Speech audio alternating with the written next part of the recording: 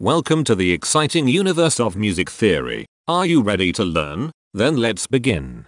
Today we will talk about Scale 2679, Rathyllic, which sounds like this.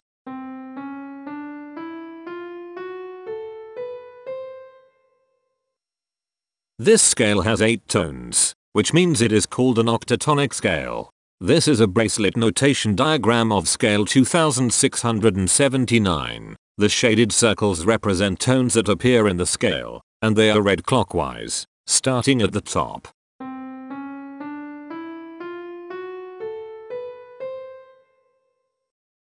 The pitch class set for this scale is 0, 1, 2, 4, 5, 6, 9, 11. The Forte class is 8, 14. This set is not prime. The structure of a scale is a description of the interval distance between each successive tone. This scale has a structure of 1 1 2 1 1 3 2 1.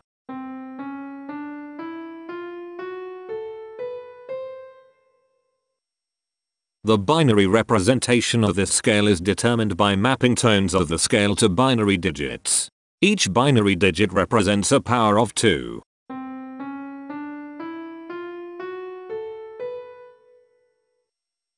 To get the scale number, we add the powers of 2 together.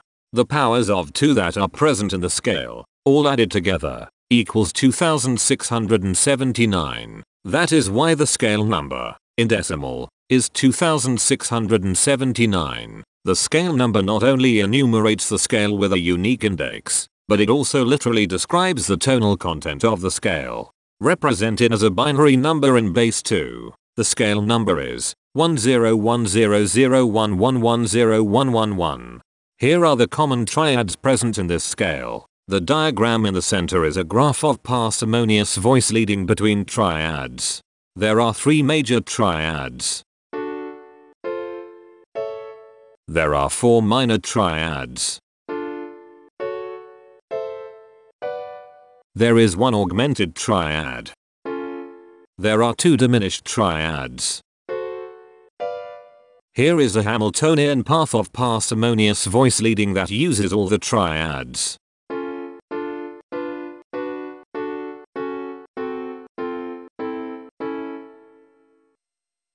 This scale has 8 modes. The first mode is itself. The second mode is scale 3387, also known as Ariptilic. It sounds like this.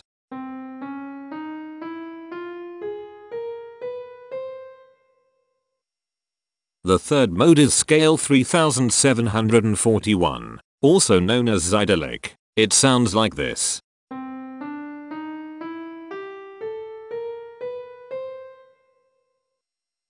The fourth mode is scale 1959, also known as Catalylic. It sounds like this.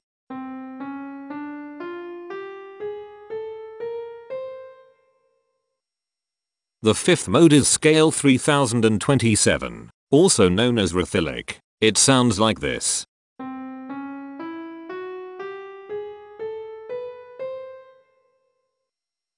The sixth mode is scale 3561, also known as Pathilic. It sounds like this.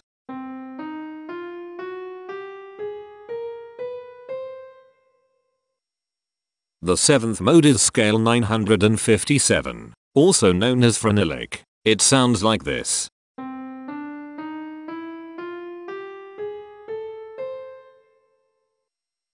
The eighth and last mode is scale 1263, also known as Steinilic. It sounds like this.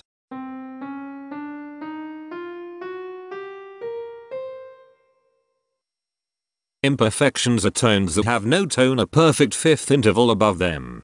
This scale has two imperfections. They are at positions here and here.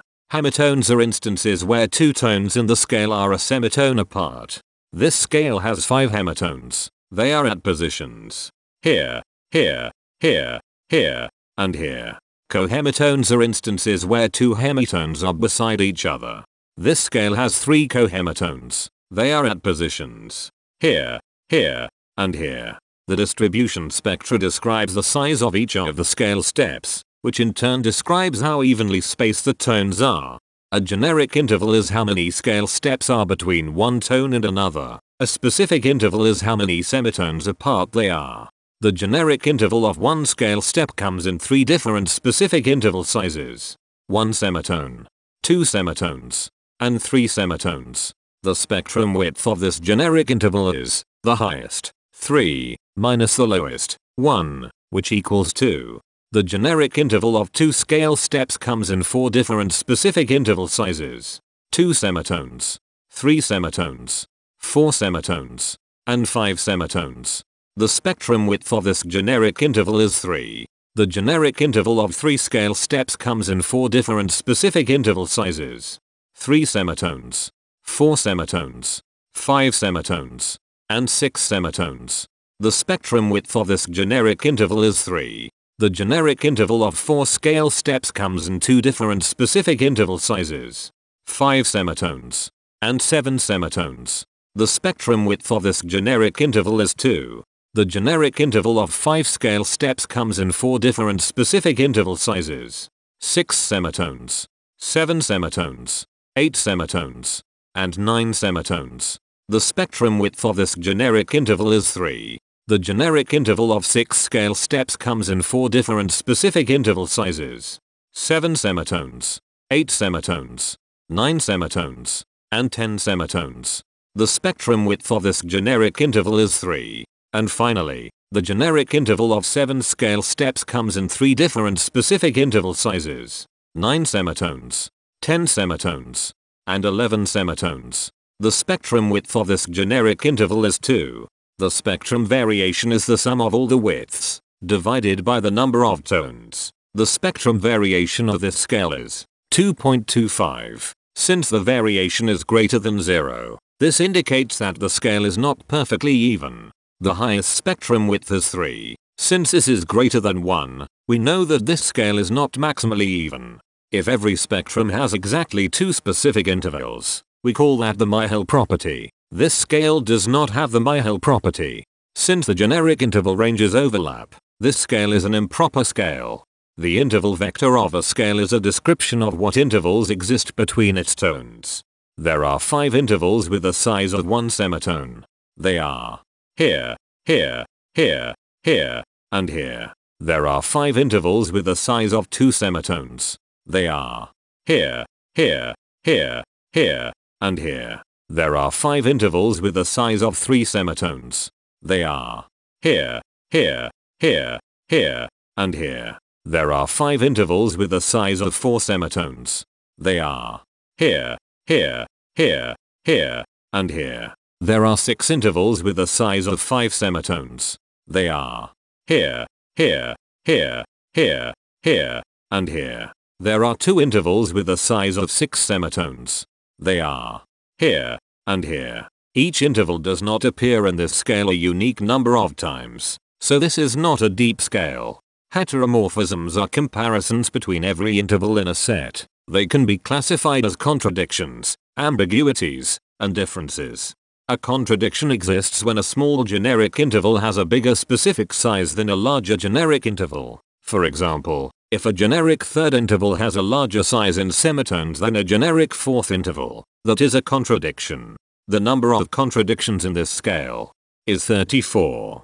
An ambiguity exists when two intervals have the same specific size, but they have different generic intervals. For example, if a generic fourth and a generic third interval are the same size in semitones, that is an ambiguity.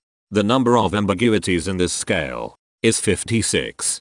A difference exists when two intervals have the same generic size, but different specific sizes. For example, a major third and a minor third both have the same generic size, but they have different sizes when measured in semitones. The number of differences in this scale is 136. The coherence quotient measures the proportion of ambiguities and contradictions among a set's intervals. A scale with a higher coherence quotient is a good candidate for musical usefulness. The coherence quotient is 0.662. The sameness quotient measures the proportion of heteromorphic differences among a set's intervals. A scale with a higher sameness has fewer differences, so it is also a good candidate for musical usefulness. The sameness quotient is 0.306.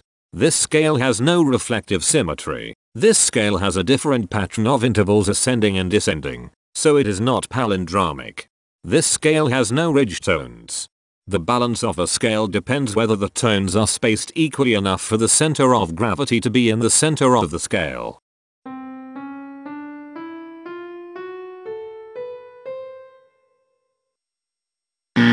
This scale is not balanced.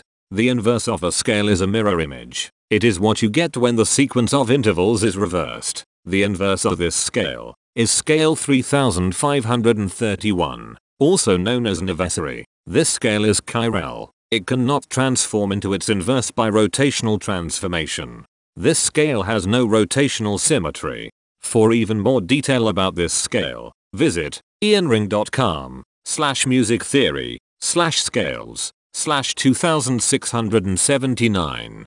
If you found this video informative, please consider supporting this channel by becoming a patron.